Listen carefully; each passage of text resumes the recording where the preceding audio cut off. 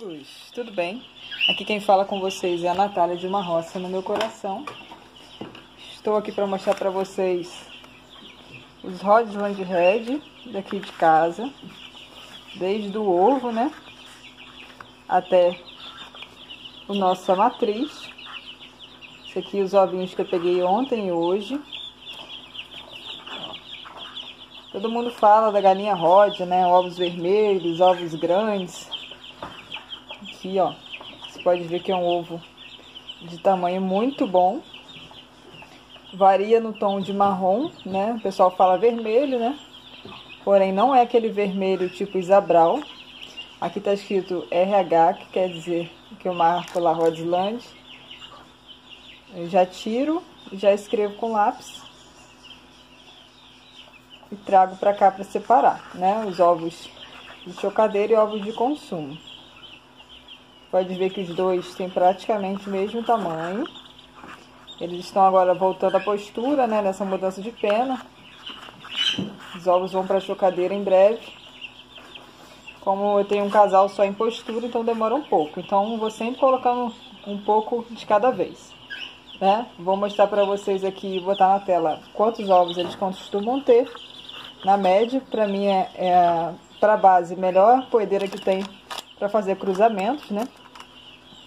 E eu estou fazendo alguns testes aqui, vou mostrar para vocês em outros vídeos os resultados, né? Agora eu vou mostrar para vocês os pintinhos de Rodisland Red nascido aqui no nosso vou fazer a mudança aqui de caixa, vou mostrar para vocês as nossas pintainhas nascidas aqui no criatório.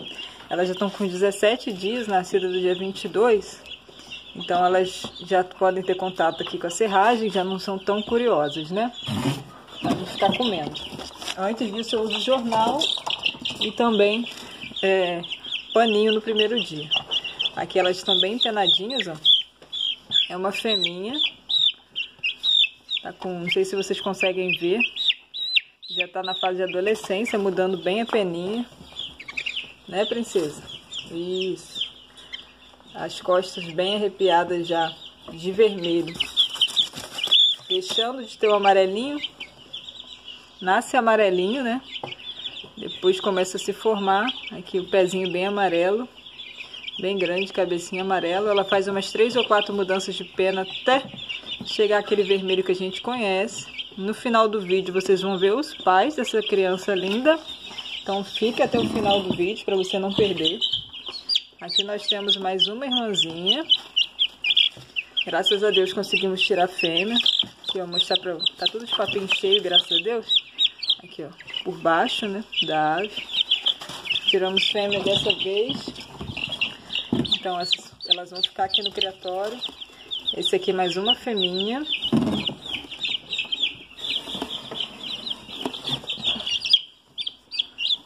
Esse aqui é o machinho que nasceu por último. Já tinha desligado a chocadeira, ele nasceu. Foi muito difícil o nascimento dessas aves aí. Porque estava em tempo de muita chuva então foi bastante complicado, né? Tempo de chuva e queda de luz, a gente sofre quem tem chocadeira. E aqui na minha cidade, Rio das Ostras, região dos lagos, o cachorro levantou a perna acabou a luz. Nesse dia a gente ficou com mais de 4 horas sem luz, mas conseguimos tirar algumas aves aí. Inclusive, que não faz parte do vídeo, mas já trocando de caixinha também. Gigante negro de Jess. Vou colocar aí o card dele. Pra vocês acompanharem, as crianças também já mudando bastante. São aves de raça pura. Feminha. Tem dois meninos.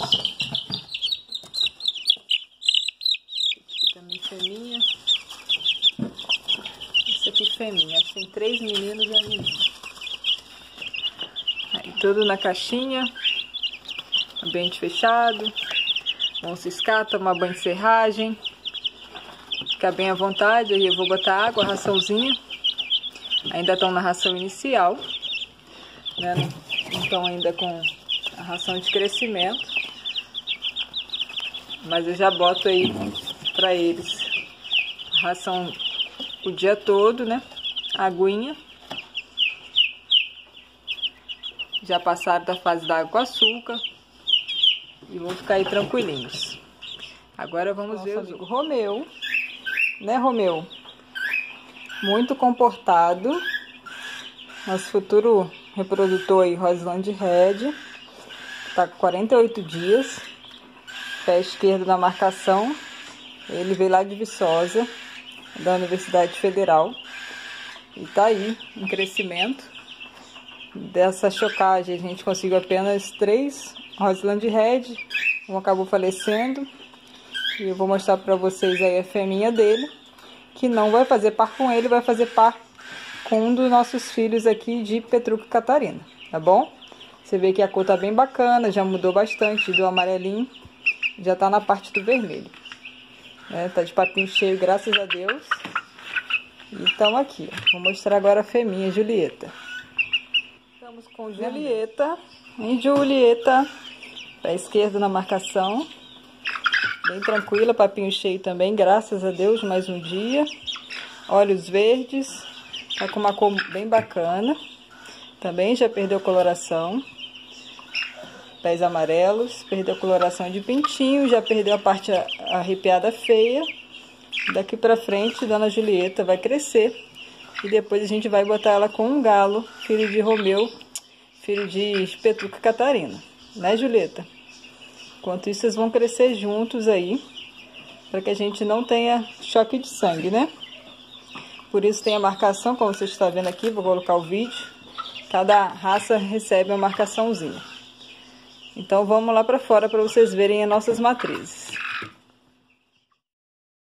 estão nossos frangos, né? Rosland Red, de outro criador.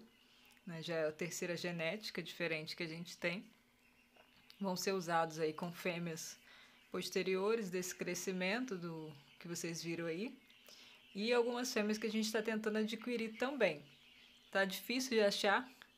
Enquanto isso, eles vão ficar aí disponíveis para algum projeto que a gente vai fazer em breve. Vou mostrar para vocês e vão crescendo, melhorando, encorpando e ficando cada dia mais bonito. O que, que vocês acharam desses garotos Rod aí?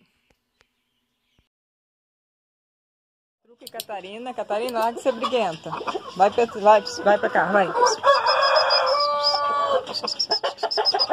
Casal Rod, Land Red. Dona Catarina aí. Olha a Dona Catarina. Olha o nosso Petrucão. Canta Petruco. Ô, oh, garoto. Canta aí pro Vinícius. Ana Catarina. Canta, Petruco. Casal Roseland Red. Uma roça no meu coração. Criatória parecida. Rio das Ostras.